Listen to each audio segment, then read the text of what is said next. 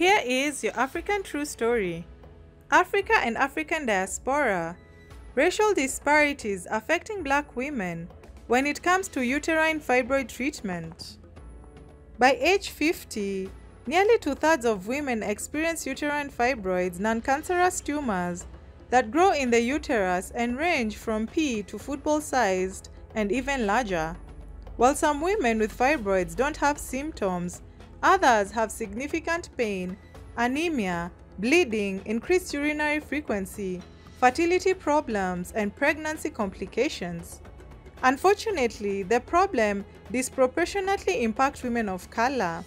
Black women are diagnosed with fibroids roughly three times as frequent as white women, with black women developing them earlier in life and tend to experience larger and more numerous fibroids that cause more severe symptoms. Nearly a quarter of black women between 18 and 30 have fibroids compared to about 6% of white women. By age 35, that number increases to 60%. Black women are also 2 to 3 times more likely to have recurring fibroids or suffer from complications. The reasons for the disparities are unclear, although research offers some clues. Fibroids have been associated with potential risk factors, including starting periods at a younger age, obesity, stress, and lower vitamin D levels. Black women are also at least twice as likely as white women to remove their uterus through a hysterectomy. A third of hysterectomies are done during peak childbearing years between ages 18 and 44.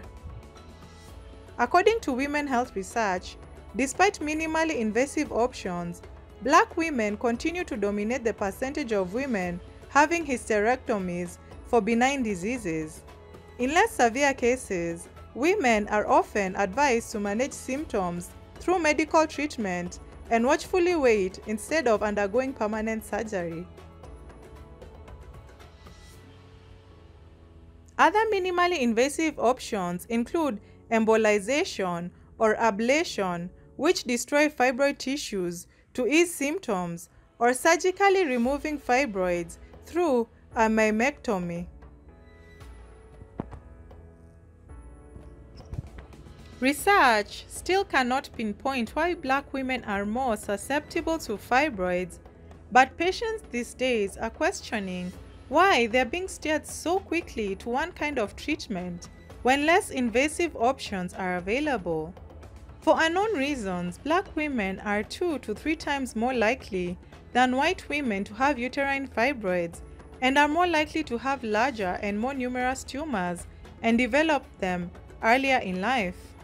Black women are also significantly more likely to have debilitating symptoms that interfere with work, relationships, and social and physical activities which can leave them feeling fearful, depressed, helpless, and alone. Experts say that these differences, paired with the racial and gender discrimination black women already face in medical settings, school, workplaces, and beyond, can compound the physical and mental toll that uterine fibroids takes on them. The problems gets worse when it comes to black maternal health. Like the increased fibroid rates, Black mothers die from complications related to pregnancy at roughly two to three times the rate of other women, and that's regardless of their income or education levels. It's not acceptable for black women to suffer and not know their options. Uterine fibroids awareness and treatment for black women and women of color need to be addressed and improved worldwide. Some signs to watch out for when it comes to uterine fibroids include prolonged menstrual periods, pelvic pressure or pain, frequent need to urinate, difficulty emptying bladder, constipation, backaches, and leg pains. If you are experiencing most or all of these symptoms, it will be best to visit your nearest health center for evaluation. Thanks for watching. Please subscribe, follow, share and like our video. It's the best way of supporting us. And remember, Africa is watching.